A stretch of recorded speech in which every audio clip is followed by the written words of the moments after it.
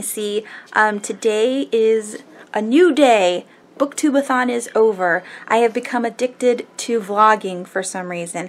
I don't like editing videos every single day because that's exhausting but uh, telling you guys about what i'm doing for some reason is enjoyable. I don't know. Um, i've been watching the youtube uh, booktubeathon wrap-ups for the last hour. I'm currently watching Lala, and that is a silly face that I stopped at, but her video was amazing. I love when um, people put their husbands in videos because husbands are always like really shy and they don't want to be involved, but sometimes they really like it. I don't know. Um, yeah, so today I think to wrap up Booktubeathon and to do my actual wrap up for all the books that I've read. I am going to vlog my day as a um, as an end to a wonderful readathon. I had so much fun. Um, so I'm to finish watching some more uh, booktube booktubeathon videos and then we're heading out to do some book shopping because once you read all these books, you want more books, right? So I'll take you along with me on my book excursion and um, we'll see what I get. That'll be really fun. And of course, we'll have a wrap up at the very end. So it'll be like a vlog, book haul, and shopping plus a booktubeathon wrap up. Say hello. Say hello. Hello, hello, hello, hello. All right, we are at the uh, post office and we're going to check the um, the P.O. box to see if I have any presents in there. Um, we did go to UPS, but that was boring, so I didn't vlog that part. So let's take a journey into the post office. Wah, wah. Empty. Nothing. Tra la la. Okay, it was empty, as you could see. Uh, so we're heading to the library bookstore to see if we can find any um, treasures there, and then we're heading to book off. We are at the library. I don't know if we're allowed to film in the library bookstore, and plus it's super tiny and there's just an old lady in there who usually is super nice, but I don't want to make her angry. So I'm going to be recording everything uh, very quietly probably not going to talk about the books. I'm just going to show the books off, okay? and then, of course, show my loot when I'm done.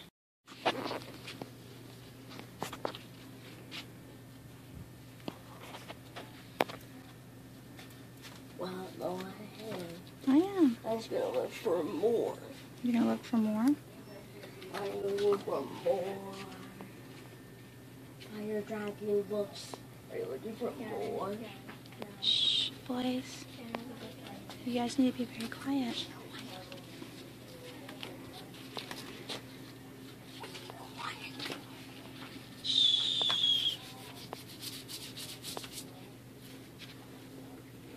We just got out of the library bookstore. I published, I published, what the hell am I talking about?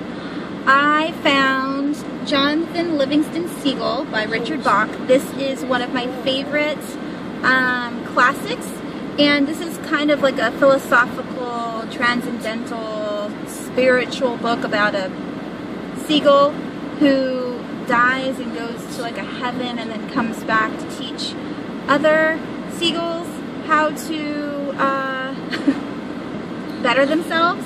Um, I own but this is a really pretty, like, larger edition. Like, mine is a um, mass market paperback size.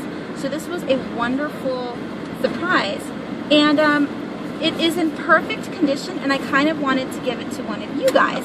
This was a dollar, and so if you are interested in Jonathan Livingston Seagull, look out for a soon-to-be trade-away. All right, Keon, you got a book. Tell them. Curious George. Curious George. Uh, and The Puppies by Margaret and H.A. Reys. He bought it for a quarter. H.A. Rey. You bought it for a quarter? Yes. Yes. 25. 25 cents. Okay, grab it. Okay, the next dollar book I purchased was Shadow of Night by Deborah Harkness. This is the second book in a Discovery of Witches trilogy. I own the first one. I found it for a dollar. Now I have the second one for a dollar. Super exciting. Um, I don't know when I'm going to get to this series, but I really do want to read them. And so, yay to that. Next, I bought Gone Girl by Gillian Flynn. I've already read this, never owned the book. I was debating whether I even wanted to own it because I, I really hate this story. Like, I love it and I hate it at the same time. But for a dollar, I bought it. Now I own all of her novels. And lastly, I found this uh, book, The Girl in the Spider's Web by David Lagercrantz. This is the continuation of The Girl with the Dragon Tattoo by Stieg Larsson. I own all three books, so I might as well buy the fourth in his continuation uh, series, and it's in perfect condition as well. It's got deckled edges, and again, it was a dollar. So, I spent a total of $4.25 on this trip. I'm super excited, and that's it. Let's head to Book Off. Driving down the 50, da na na na. We are almost there. I have to get to junction 163. In four miles, so I'm good. At Edward Cinema is the best. They have really good seats and they have IMAX theater. Alright, we are on the 163. We are looking for Balboa Avenue because that's where we have to turn in order to get to Book Off. Woo! Alright, there's Balboa Avenue. Let's get over because it's in a half a mile. Okay, so we're gonna have to walk like a super far away from the bookstore because every single spot is crowded and full and the spots are super tiny here and I drive a small SUV so ugh so annoyed that I have to walk so far. But let's go.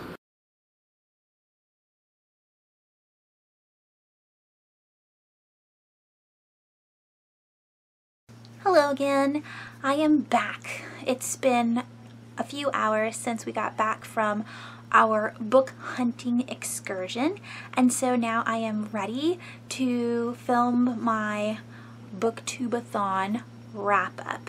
Now I did film this hours ago and uh, when I went to go edit it, I realized I absolutely hated the footage. And so I am redoing it. I just, I tend to talk really fast when I'm excited and then I miss information that I wanted to say and I can't just throw it into the video with words. So I decided I would just refilm the whole stinking thing. Um, okay, so with the Booktubeathon, it was from the 18th to the 24th. It's it was seven days long. It was hosted by Ariel Bissett. She's the one who created it. There were Twitter spin Twitter sprints, which I did not participate in any of them. There were video challenges, which I participated in almost all of them. There were Instagram challenges, which I participated in a few of them.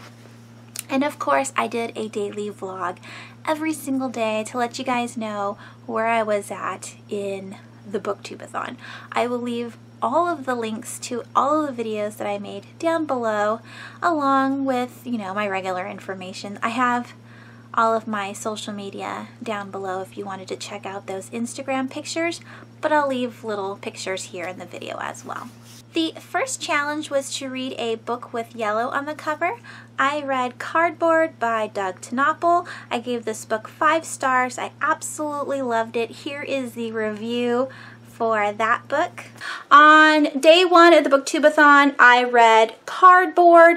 I don't know if I fully went through it, but it's basically about a man who is down on his luck. His wife has uh, passed away, and he is in between jobs, and his son's birthday is today And so he wants to buy his son a present, but they don't have any money in order to do so. And he sees an old man on the side of the road with some kind of like cheap toy stand. And he goes up and he talks to the man. He's like asking, you know, how much something is or whatever. And he goes, oh, I don't have that much money. And the guy goes, Is your son a good boy? And the father's like, Of course. And he goes, You know what? I'll, I'll let you on a secret. I have this box and I'll sell it to you for 78 cents. And that just so happens to be exactly the amount of change in the man's pocket. So he buys the box, not knowing what kind of box it is, and takes it home and he decides to create a boxer out of this box for his son. And the boxer comes to life. So it's kind of like, not really, but a kind of like Pinocchio, where, you know, the boxer becomes, you know, a, not a real person, but, you know, an animated object and the boy falls in love with his little box friend and lots of craziness happens after that. There is a horrible neighbor named Marcus, kind of like the kid on Toy Story, Sid, who's like really demonic and like breaks his toys. Um, Marcus is just like that, where he's really creepy and all he wants to do is make monsters, and he kind of steals a little bit of Cam's um, magical cardboard and creates monsters himself. And the monsters you know take over and lots of dangerous things happen after that. As you can see here Marcus is freaking out because his monsters are not able to be um, controlled anymore. And does Marcus and Cam become friends at the end? I don't know. You're going to have to read to find out. But I really, really enjoyed it. The illustrations are beautiful. I loved it. I love the heartwarming message that it, you know, brought about friendship and love and, um, you know, between a father and a son and not worrying whether you have money or not because money doesn't bring happiness. Um, you know, it's all about your friends and family and those around you that care about you and you know uh, just being grateful for what you are given I just really really really really like this and this is by Doug um, TenNapel. I also have two other graphic novels by him that I will be reading during the booktubeathon and so I'm just really excited to find a new graphic author, graphic novel author that I enjoyed because my son also liked this graphic novel and so I want to be able to share those more of them of this author with my son words. As you can see, it was pre-recorded because the books were due um, last Thursday at the library. The second challenge was to read a book only at nighttime. I read Crimson by Laura Foster. I only got to read half of the book because I was busy editing and uploading a lot of these videos before bed, which took a little bit of my reading time away, but I'm still enjoying this book and I can't wait to finish it hopefully this week. The third challenge was to read a book that you discovered on BookTube, and that is Picnic at Hanging Rock by Joan Lindsay. I saw this on Brittany's channel at Under the Radar Books. Um, it sounded very interesting, and so I picked it up from the library. It's about a it's not a boarding school, but it's a it's a school for girls, and it's called Appleyard College. And they decide to go on a field trip to Hanging Rock, which is like a volcanic, like um, like rocks and kind of like a mountain, but not. it's just like a structure of rocks, and there are monoliths and crevices and all of these things, and it's underneath uh, Mount Macedon. I think that's how you say it. Anyways, this takes place in Australia in the 1900s. It's Valentine's Day. The whole class goes to Hanging Rock for a picnic. And when they arrive, um, three of the girls, or actually it's four girls, four girls decide to go exploring and only one of them return and she doesn't remember what happened. And then when they you know try to gather all of the kids together they realize one of the teachers is missing as well. It's very mysterious very strange. Um, they don't know what's going on. The police get involved and they still can't find anybody. A week later one of the girls is found alive. She's unconscious and she doesn't remember anything that happened. The teacher and the other two girls are never recovered. Not only is it a strange mystery, but it kind of has like a paranormal aspect to it where it's almost like a Bermuda Triangle kind of thing where these volcanic rocks have some kind of like sinister um, energy and the bodies are never found from the girls. Nobody can find out what happened to them. All of the memories are missing from when they're in the volcanic rocks, like in the area.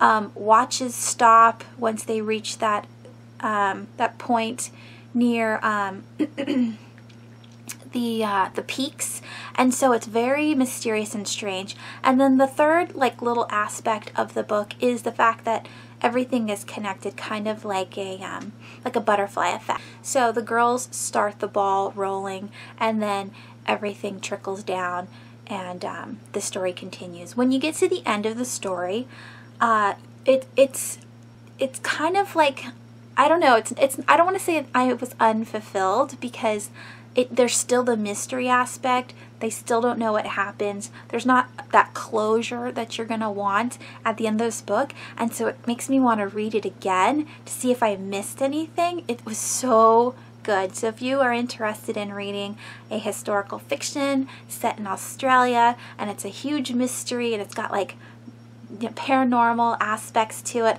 I would definitely pick this one up. I gave this book four stars. All right, the next challenge was to read a book by your favorite author. Now, I picked up uh, Mr. Mercedes by Stephen King. Stephen King is one of my favorite authors, um, but it was just too big and chunky for this readathon, and I only read I only read 18 pages from this book.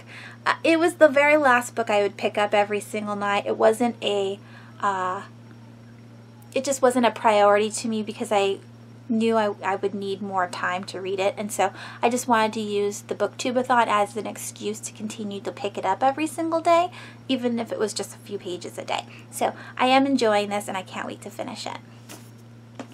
The next challenge was to read a book that is older than you and I chose Alice in Wonderland for that by Lewis Carroll. This was um, published in 18, was it 1865?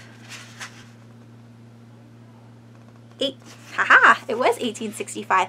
This is my very first time reading this book, and I know it's so shocking because it's one of my favorite classics, even though I never read it. And that's because I grew up my favorite Disney movie was Alice in Wonderland.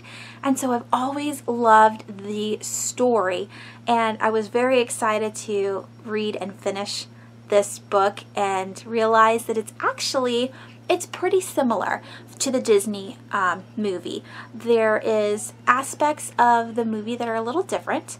Um, there is Tweedledee and Tweedledum in the movie and there is no Tweedledee and Tweedledum in the books. So I don't know if that is something that happens at a different time because this is the first adventure. This is the first time Alice has been to Wonderland and if you look up um, Alice in Wonderland's adventures, there are many more.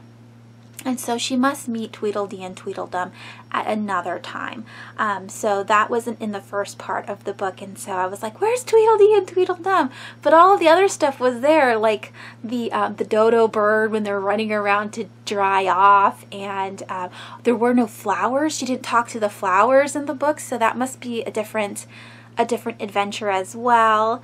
And uh, but there was also there was the uh, the, the hare when she goes to the White Rabbit's house and she gets really big. That was part of the book, which I really liked. And the croquet with um, the queen and the trial was at um, was in the book as well. So if you've seen the Disney version, it's very close to the book. There are extras that are in the movie, um, which just makes me even more excited to read more of the adventures of Alice in Wonderland. I do have the entire um, leather bound edition from Barnes and Noble that I think has all of the collections of Alice in Wonderland in it. And then I also have another um, Puffin edition that is for Alice in Wonderland and Through the Looking Glass, which I'd like to pick up next month. I'm just so excited for this uh, to continue on with this story.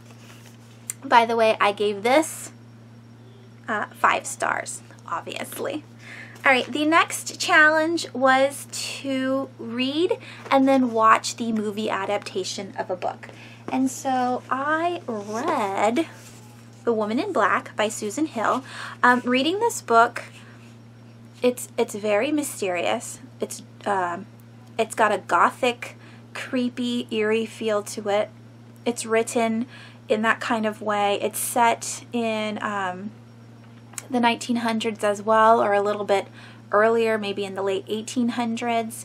Um, it's in London, and uh, the main protagonist is a male, and he is a lawyer, and he goes to this house to collect papers um, for the law firm so it could close out the account because the woman has died and the house is actually haunted. And so it's very slow paced and very eerie.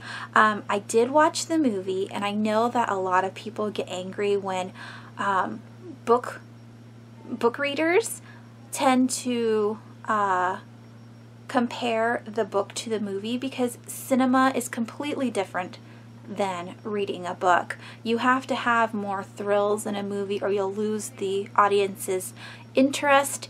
And so when you have a book, you can make it as long and as slow as you want. But with a movie, there has to be action or, or scare um, tactics or what have you in order for you to stay involved in the movie. So they were very different in feel, if you understand what I'm saying. I will be doing a separate video so I can talk about um, the movie and the book separately because um, I, I really want to talk about that. And I didn't like the movie as much as the book. I gave this book 4.5 stars. Like I said, I absolutely loved it. And the very last challenge was to read seven books. Now, before um, I decided to read a whole bunch of graphic novels. I chose the dumbest idea ever as my seventh book and I did end up finishing it and I gave this book four stars and here is the review for that one. On day two I read The Dumbest Idea Ever by Jimmy Gownley. Now this man is famous for a uh, middle grade series called Amelia Rules. And basically in this graphic novel, it's a memoir of his childhood living in Pennsylvania, I think. Or is it Vermont? I can't remember. But it's a small mining town that he lives in. And um, at the beginning of the book, he's in middle school and he gets straight A's and everybody thinks he's a nerd and that's what he's known for, being like really, really good in school. And then he gets into high school and he's just not very good at school anymore. It's too hard or he's just not interested anymore and he finds that he really likes comics and he likes drawing comics and so he starts drawing them and um, he kind of becomes a slight celebrity in his hometown which causes him to get a big head and then he's being like ostracized is that how you say the word um, at the school because now everyone's like kind of resenting him for being Mr. Popular but basically, his best friend Tony said, "Hey, you know what?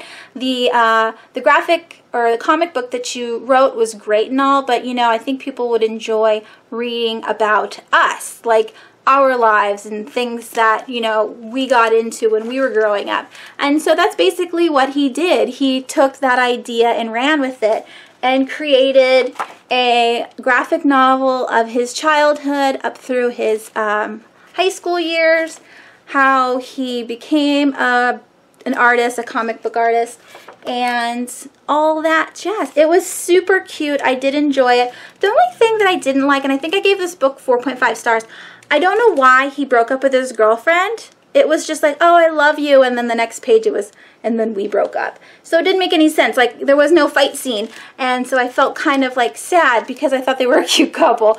Um, but yeah, that's it on this book. Really enjoyed it. I would definitely pick it up if you like, you know, nonfiction memoir kinds of graphic novels. And like I said, the illustrations are amazing. Thank goodness for graphic novels, or I would have only had three books read this week. Um, for the other graphic novels that I read, I read Displacement by Lucy Knisley, and if I really wanted to, I could have counted this towards the um, book with my favorite author because she's one of my favorite graphic novel authors. Um, Displacement, I gave five stars, and here is the review for that one. Displacement, a travelogue by Lucy Knisley. This is one of my favorite graphic novel um, authors she only does memoirs and most of the time it's it's got food in it this time there wasn't very much food but one of the cute things and i you know what if you've never seen her illustrations i mean you really should it's kind of like stickers like you go and you get, um, I don't know, like you can go and scrapbook with all these pictures. Where's the pictures? There we go. It's just so cute. But okay, so here's day one of her trip. And you see how the water is really small. And then let me show you day six, the water's up higher. And then we have day 10, the water fills the entire page. I love her transition pages. Um, all of her novels have some kind of transition page and I just absolutely love her ideas. She's so creative. But basically this is a story about her taking her elderly grandparents on a Caribbean Caribbean cruise and her grandparents are in their early 90s and it was very difficult for her. She's never taken care of them before. Her um, both her grandparents have dementia. They're slowly losing their memory and Alzheimer's are kicking in. Her grandpa has um, like bladder issues and he keeps wetting himself and he's like not interested in changing his pants and so she's not only embarrassed but she's like worried that he's going to be uncomfortable. Grandma keeps walking away because she's like you know forgetting things and she doesn't know why she's sitting there anymore. And so lucy kind of is like panicked the whole time she's on this uh, cruise because she's got her grandparents for a week she's never taken care of them before and she's like out of her element. Like she's not understanding how to um, deal with them. But in the end, it's a wonderful trip, very bumpy, as in, you know, emotionally she was stressed out the whole time but it was a great experience for her and she enjoyed the fact that she got to spend a little bit of time with her grandparents before they passed away and her grandpa is still kind of there so he was telling her how he really did enjoy the fact that she went with them even though grandma won't remember I will. And it was just really, really cute. Um, of course, I got teary-eyed at the end because all of Lucy's graphic novels does that to me because it's all about family. And my grandparents are getting on in age. My grandpa right now is in his 80s and he has dementia. And so, you know, just watching him slowly slip away and not know what's going on is really disheartening. Um, so yeah, it, it like, I could relate and it made me sad. And the fact that you know our mortality everybody dies. And so you know it touches on that fact like you know it's not something that you can control. So enjoy your loved ones now because you never know when they're gonna go. Hmm. Anywho I really enjoyed that one. All right. And then the other um graphic novels that I read was Ghostopolis by Doug TenNapel. This is the second book that I've read by him, the first one being Cardboard. This one I gave five stars to. It's about a boy who ends up being in the afterlife and having to find his way home and everything that he has to do in order to get home. It was really good. It reminded me of Wizard of Oz. Like I said, five stars. I really, really like Doug TenNapel's writing and his illustrations. They are just beautiful. This was not a very good page to choose. Let's find another one. Look at that kid. He's so funny. Um, yeah, I just loved his illustrations.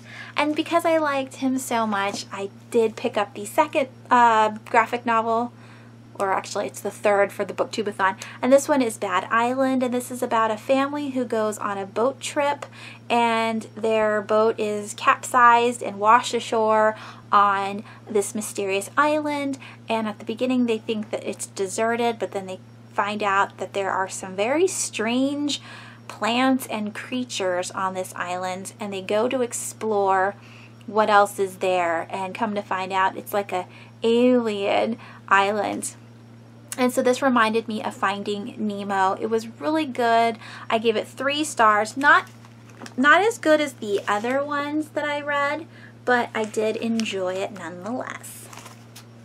All right, and then I read, I read uh, Zebrafish by Peter H. Reynolds and Fable Vision, and this is a coming of age story uh, mixed in with some other things.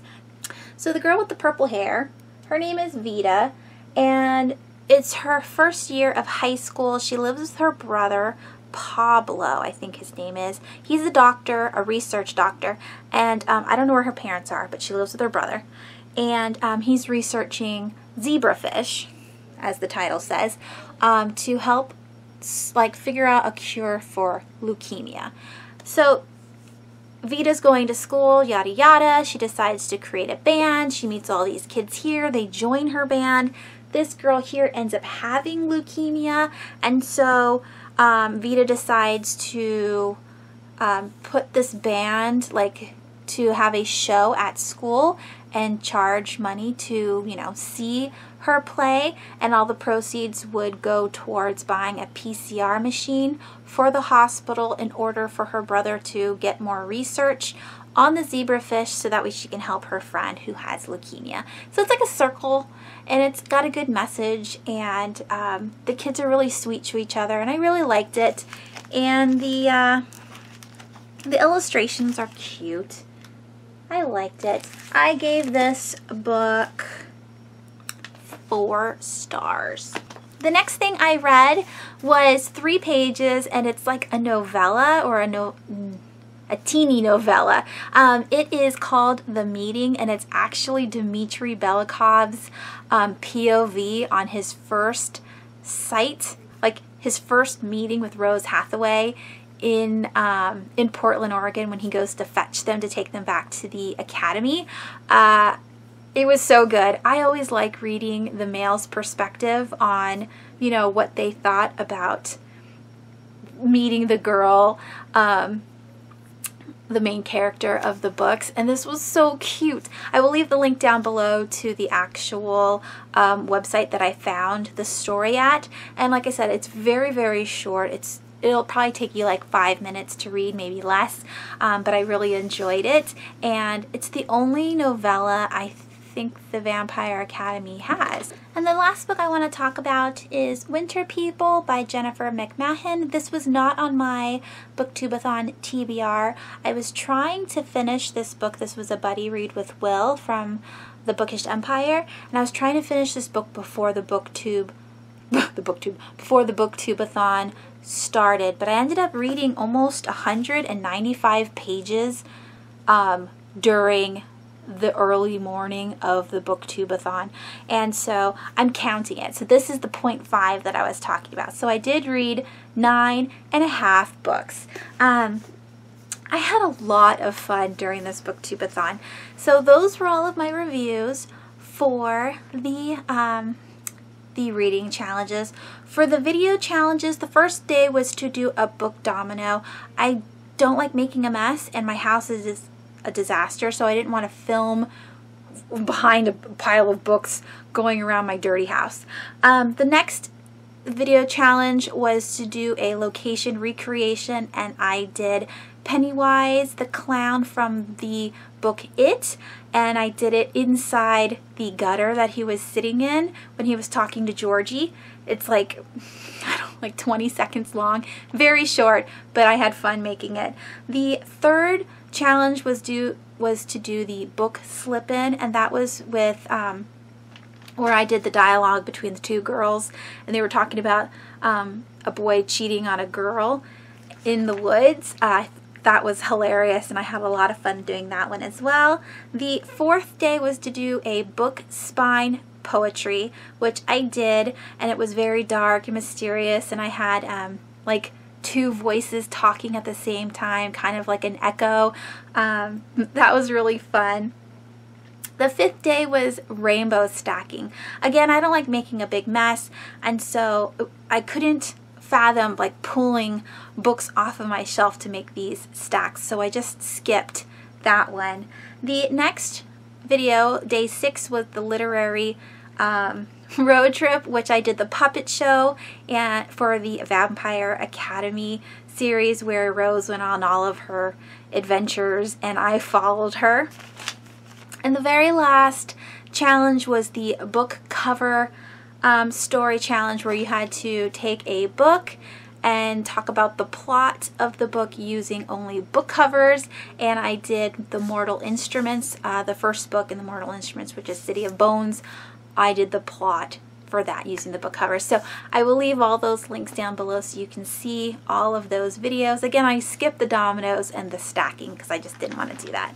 And then for the Instagram challenges, um, the first one was landscape matches. The story, I did cardboard and I put the book in a box um, surrounded by cardboard because that's what the book was um, about. The second challenge was a book rainbow, which I used all of my Stephen King books for. The third challenge was a favorite quote from a book. I skipped that one. The fourth one was a book and a snack. I skipped that one too. These ones I meant to do, but you know, I lost track of time and then it was just too late. Um, number five was to take a picture of your favorite classic, and I did Alice in Wonderland. I absolutely loved that picture. I like all the pink. There's all this pink going on. Um, the sixth Instagram challenge was to take a picture of a hand-me-down book. I was going to do Jonathan Livingston Seagull by um, Sebastian Bach. That's not his name. Richard Bach. Sebastian. I think his name's Richard Bach. Anyways, uh, I was going to do that one, but again, I forgot, and then I ran out of time. And then number seven was to take a book outside, and it's been too hot to go outside, so I skipped that one as well. So the Instagram challenges, I only did three of them, but I had a lot of fun with the three. The most fun I had was during the um, the video challenges. I'm really happy I got to participate in almost all of them. And so for a grand total, all of the pages that I read during the booktubeathon, I read 2,218 pages. Go me. I'm so excited and I had so much fun. I hope you guys enjoyed this extremely long uh, video for the Booktubeathon, my wrap up. I hope you guys had a wonderful reading time if you participated in the Booktubeathon. I hope you guys have a wonderful week this week, and I will see you tomorrow with another video because I have a lot that's going to be coming up in the next couple days. Um, and that's it. Thanks for watching. Bye.